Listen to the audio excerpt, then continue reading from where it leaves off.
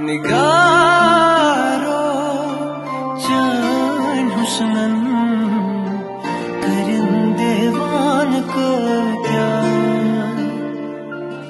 गमाची आशिक फलवा बनित मस्तान को क्या